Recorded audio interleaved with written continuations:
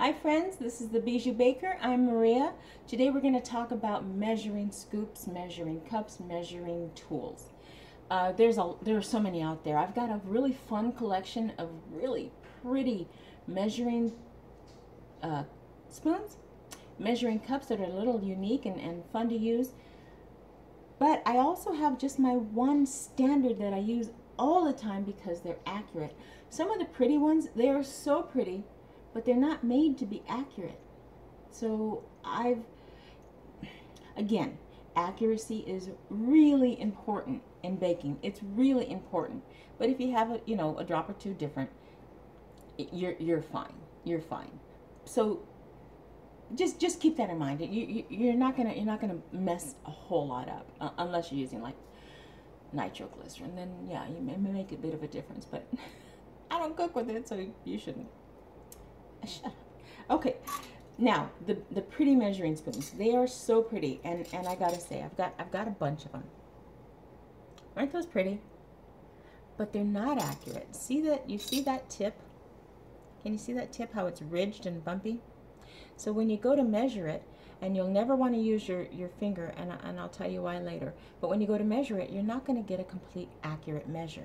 And and that is, after all, what you want. That is that is going to be your all all-time goal is to be accurate.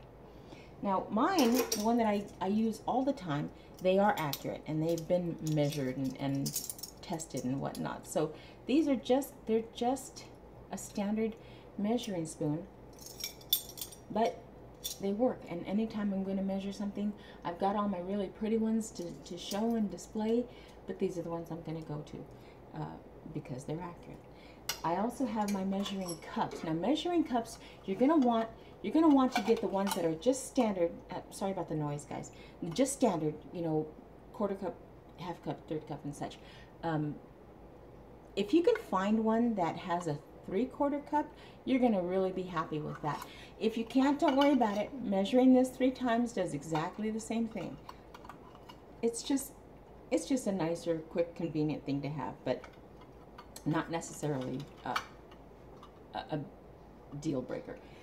This is just a, a, little bit of, yes, it is just a small portion of, of my chef toys and, and my measuring stuff. But you'd be surprised when I get my oven going, I use almost all of these for one reason or another.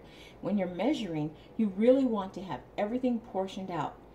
Uh, and, and and let me tell you why now.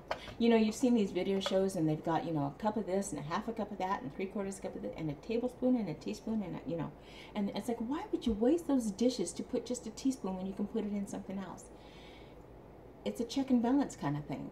When you're going through the recipe, it's just cool how it works. When you're going through the recipe and you see two cups of sugar and then two cups of flour and then whatever it is, I'm making this up, uh, your teaspoons and tablespoons, you have everything laid out and then when you go and you see, you just check off everything. So you make sure that you're not missing anything because the worst thing is to get three quarters of the way done with your, your ingredients and find you're missing buttermilk or you don't have eggs at room temperature or butter at room temperature or, or whatever it is. So this is just kind of a check and balance kind of thing. And so using a bunch of them at a time, yeah, it's a little more dishes to wash, but you want to be accurate.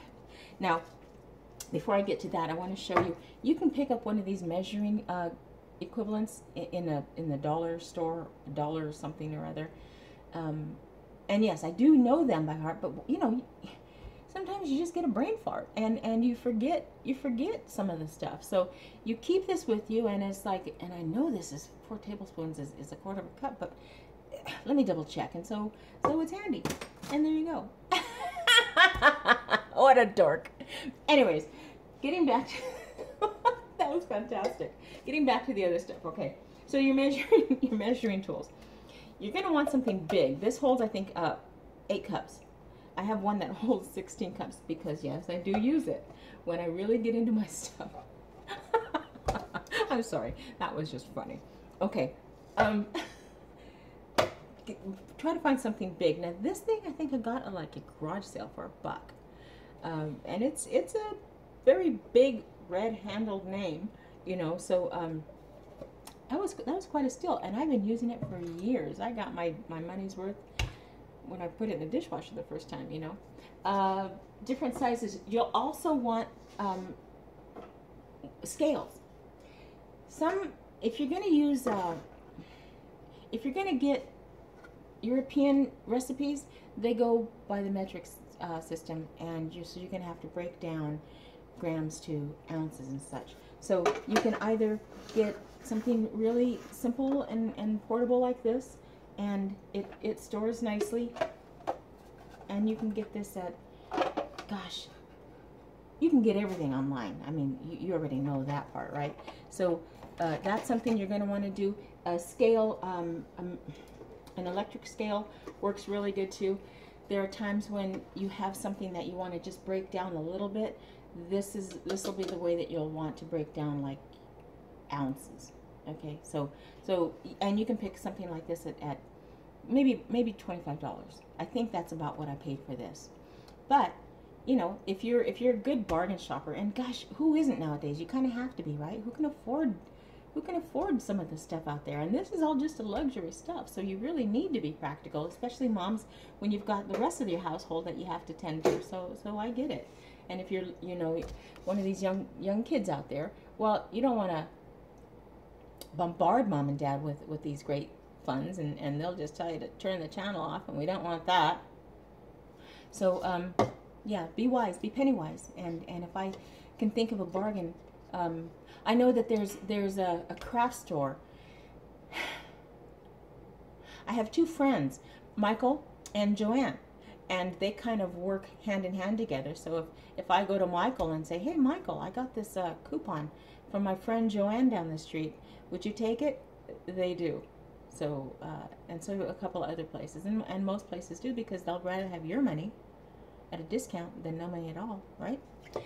Now, getting back to this, this is one of my favorite measuring tools. It's a slide, and it is so accurate. And it's got ounces and grams and pints and cups and and all sorts of things all around. I don't remember how much this was, but again, it's online, and I don't know who made it. Sorry. But it, it's really great for like corn syrup or syrup or something really sticky because uh, honey when you use when you put your your honey in a cup and you go to measure it well you got to do a lot of scraping. I hate that and i hate waste. I hate waste. So this thing i put in a quarter cup of, of honey and i just push it on out. And then i use my spatula and i scrape it down. This is clean. It goes to get washed and I've got exactly how much honey I need.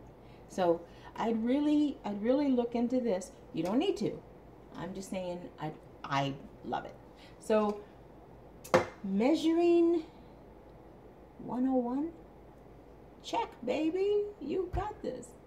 So keep, uh, keep tuned for, for another video and we're going to start working on, on the tools that you need. This is all very basic, remember, and, and some people are going, well, when are you going to get into the cooking? Why would I possibly teach you about running when you're still crawling? So let's let's get you up and walking and let you know exactly where we're at so that when I do start talking about measure, you're going to tune back and say, I remember she said something about that. And then we're good. And we go on to the next episode. So all right, so here we go. And uh, remember to, to like and share and subscribe and have a fantastic day. Happy baking, my friends. Bye-bye.